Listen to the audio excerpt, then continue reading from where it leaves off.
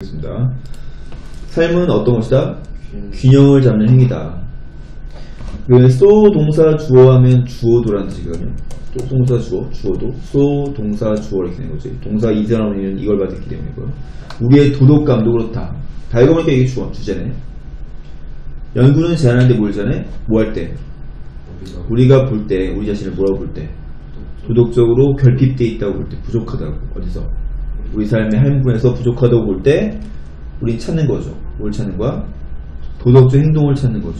근데 어떤 행동? 균형을 잡아주는 행동이죠. 뭐에? 저울에. 치- 치우친 것을 바로잡을 그 행동을 찾는 거죠.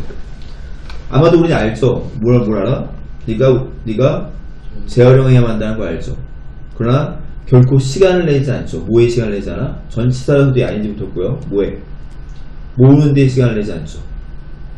너의 유리와 페이퍼와 플라스틱을 제 시간에 모으는 거지. 뭘 위해서? 재활용의 트러블을 위해서. 재활용하지 않는다는 얘기지. 아마 우리나라가 아니라 미국 얘기하는 것 같아, 이게 지금.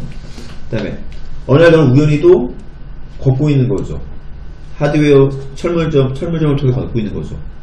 그러다가 알아차리죠. 더미를. 뭘, 뭐의 더미?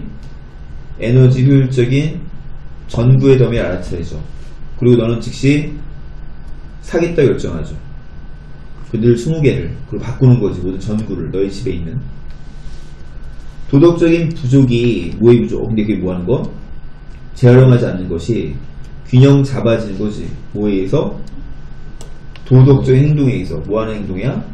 에너지 효율적인 전구를 설치하는 도덕적 행위에 의해서 균형 잡아지는 거지 근데 문제는 뭐냐면 이 시소가 또한 뭐 할 수 있어? 다른 쪽으로 기울 수 있다는 거죠.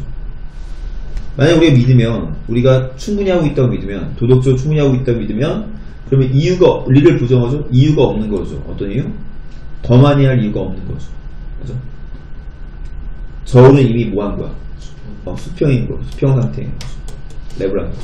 빅한 나오면 더 어렵겠네. 그지? 네.